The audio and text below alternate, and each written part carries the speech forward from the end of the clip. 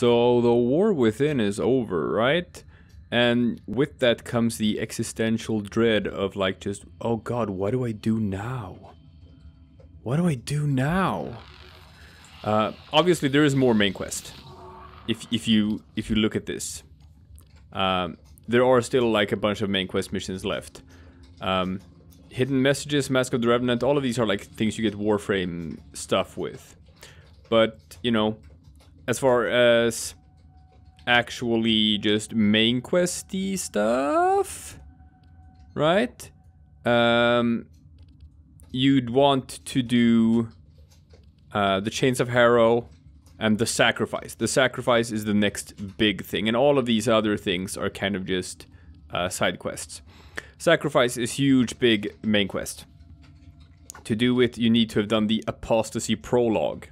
And then you're like, alright, I'll just look in my quest log to find out Apostasy Prologue and see, and it's like, oh shit, it's not there. There is no quest called Apostasy Prologue. Uh, how do I how do I do that? How do I advance in the main quest? And the answer, folks, is here. The answer is you build your personal quarter segment. That's it. That's what you do. And then you enter your personal quarter segment, and that's how you sort of kick that quest into gear. Now, I'm gonna, you know, build that. It's gonna take 12 hours, so we're not gonna do that in this session. Also takes a bit of credits, a bit of Argon. That's fine, I have everything else.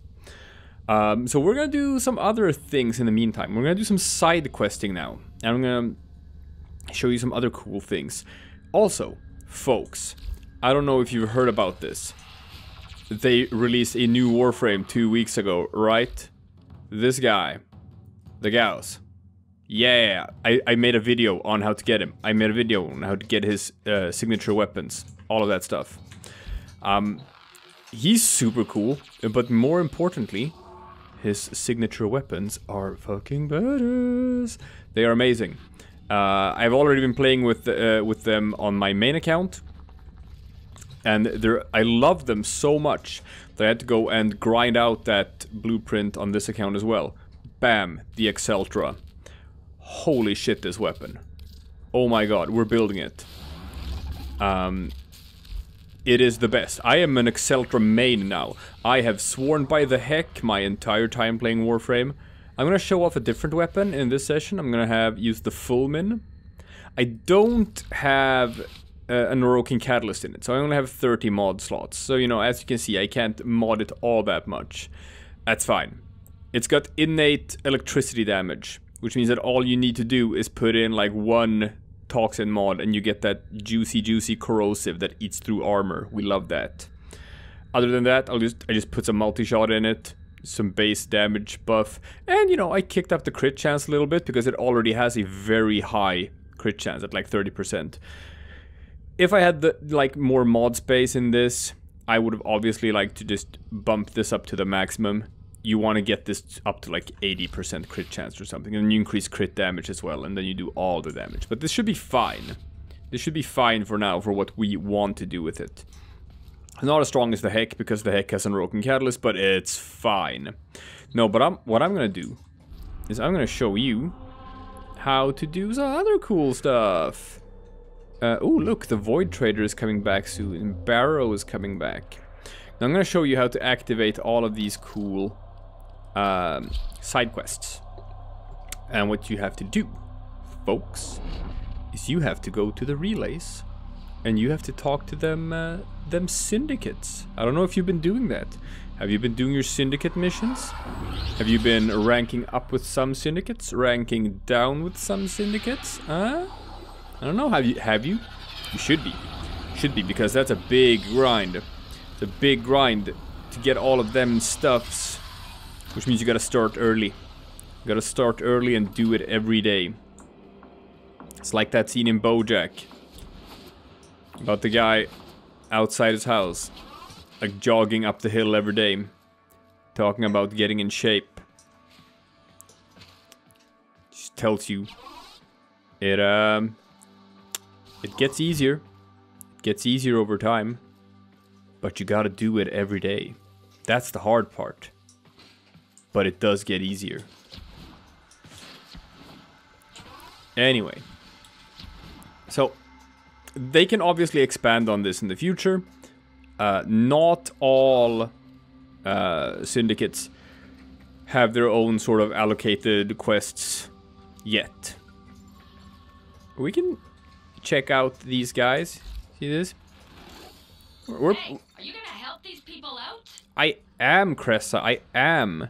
Uh, she does not have anything else to talk about. So, like, she does not have any sort of dedicated quest. Steel Meridian does not.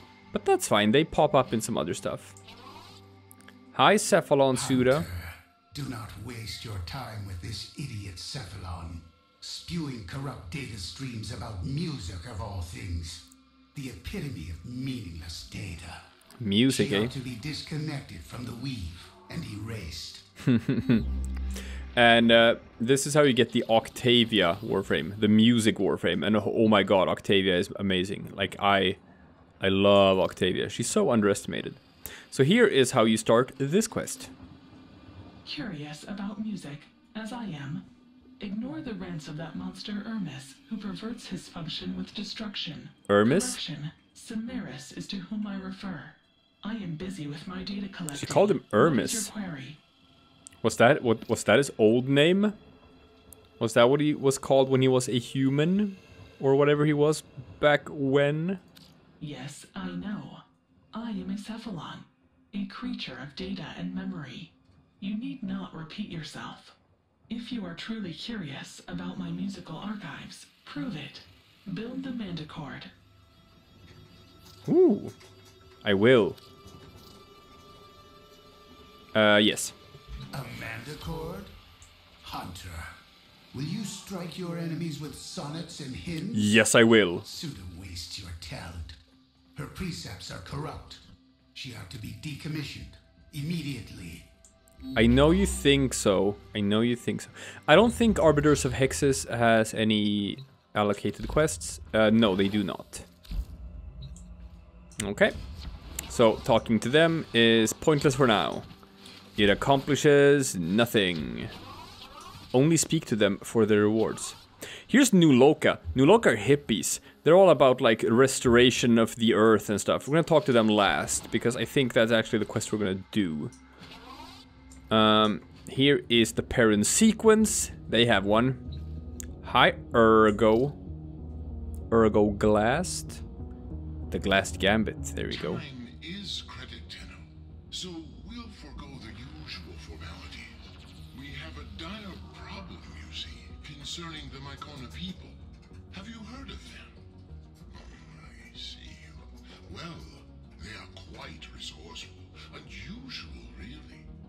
Mycona earn a living by harvesting the biological products of the infested. That sounds dangerous. Dangerous trade, and we Perrin have always given them fair value for their goods.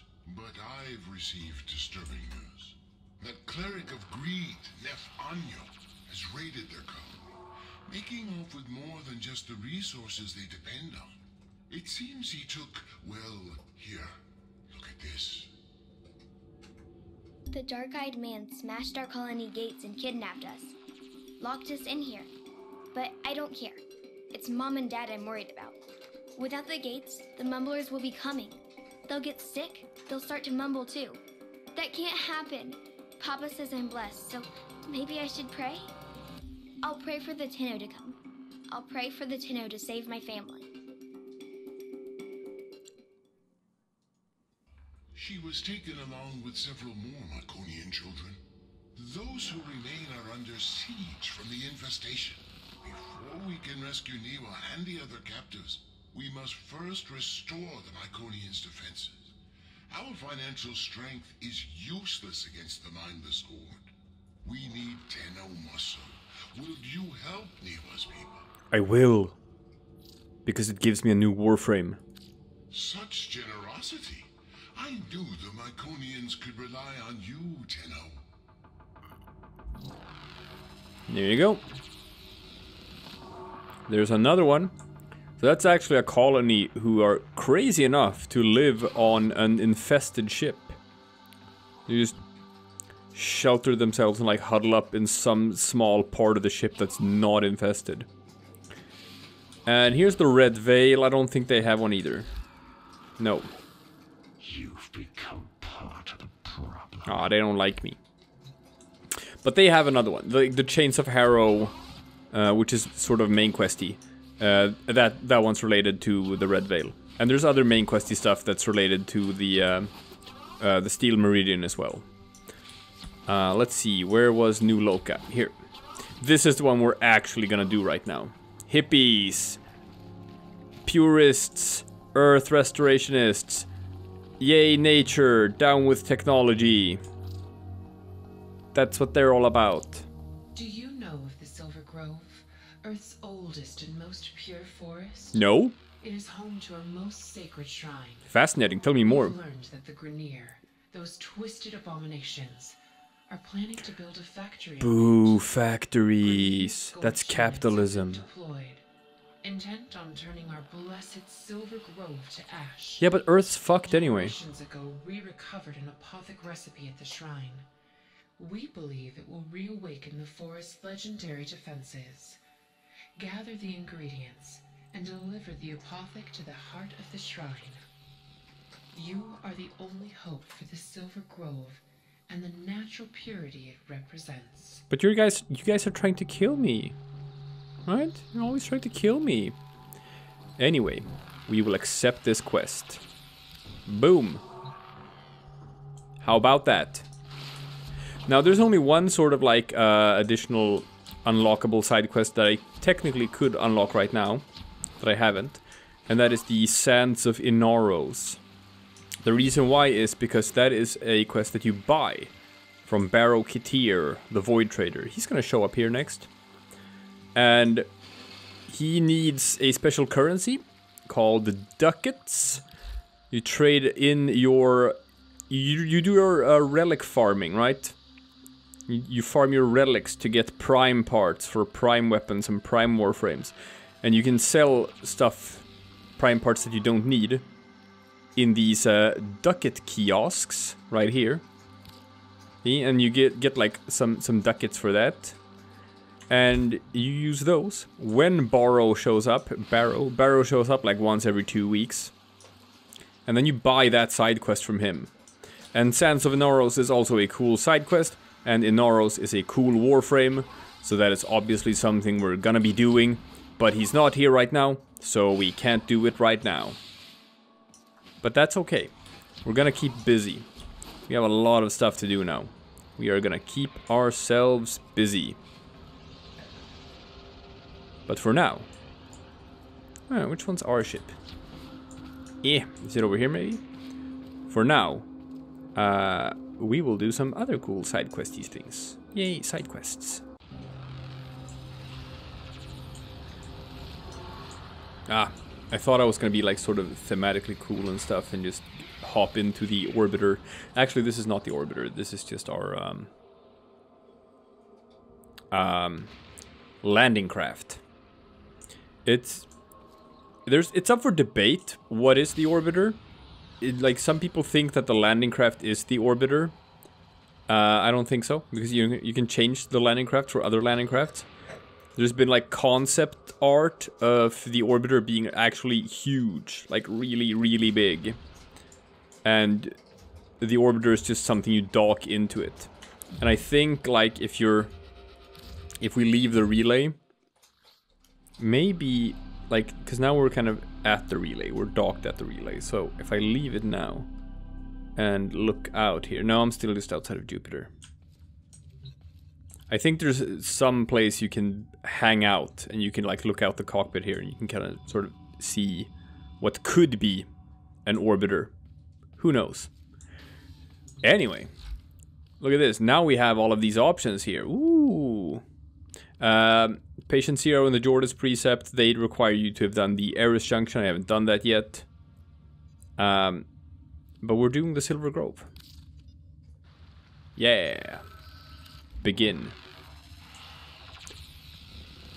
Alright, we already had that set as the active quest. So you pick it here. Okay. Now what? Now what? Oh, right, I got, uh, bleh, I'm dumb. There you go. Are I got the apothic. Yes, I am so ready. We need the apothic to awaken its defenses. I understand that. Scour the system and find the plants we need. Yeah, find the plants. So we got a blueprint here for an apothic. Find the goddamn plants. Hey, remember when I told you get the Helios as quick as you can? Because it scans stuff for you. Remember when I told you before when we've been running missions and I've just been running by these random plants and I've just been scanning them and you didn't know why I did it? And I was like, don't worry, one day in the future it'll all make sense why I'm doing this. So yeah. That was the so-called apothics. Ooh, Mandachord. Oh, that's so cool. So we will skip to... Is it like a key? No, no. It's a ge gear. There we go. Ooh, a cipher. So as you can see, I've been hunting, hunting, hunting, hunting. For this one, I got the Dusklight Sarracenias. I got the Moonlight Dragon Lilies. I've been scanning all the things. Do not have enough Sunlight Thresh Cones. That's bullshit. So, here's the thing. You get those on Earth. It depends on if it's night or day. What is it? It's night. Crap. That might mean I can't actually get sunlight cones right now. It means I might actually only be able to find moonlight cones because sunlight cones only spawn at day. And it's 30 minutes until it's daytime. That's a good quest, people. That is a well-designed quest. God. Uh, oh god, please don't tell me I picked... Did I pick a mission that's not even outside? Oh, I'm I'm such a goof. You know what? You know what, King Crimson, I summon thee. And when we get back, uh, we're gonna be right on top of this. No more goofiness from us, people. We are we are running a tight, tight professional outfit here. Did I mention it's tight? It's very tight. I'm Swedish. Everything we do is tight. Our jeans are tight. Our music is tight. Our outfits are tight. Both in terms of fashion and in terms of skill.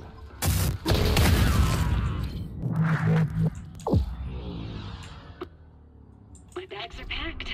I'm all set to leave. I can't believe I'll be working with one of my childhood heroes, Archimedean Margulis. Comms, she said she needed the best infestation biologist there was. I think my knees almost gave out. As I log this, I'm looking out the stained plastic of my field tent into the dead, yellow sky of Earth. I smell the vague sulfur and toxins leaking through the seals. Yet, somehow, I'm gonna miss this place. Leaving here feels like I'm giving up on my dream. My dream to see green and blue return to the sick and dying mother of us all. But I'm frustrated with my lack of progress. I've tried everything to accelerate the ailing vegetation, to guide and nurture the soil, but nothing comes of it. I need a change. Now I have that opportunity. And thanks to Margulis, I'm relieved I won't be drafted into some Orokin war project. The Dusklight Sarracenia grows best in absolute filth. I mean, 100% pollution, poisonous air, and water. Really, what kind of plant thrives in those conditions? Lovely name, though. Hehe. so I don't know why that thing popped up right now. Um, that piece of audio wasn't supposed to pop up until like I think until I make the apothic, but it just did. Um, I don't know how to bring it back, but it's it's fine. It's just like an audio log. It's just that it's supposed to show like the actual grove uh, when it's read out. Um, you should be able to go back and like listen to them again. So I'll, I'll see if I can find out how to do that. Other if if I can't, then I'm gonna leave this in, and uh, that's just gonna be uh, how you got to experience it.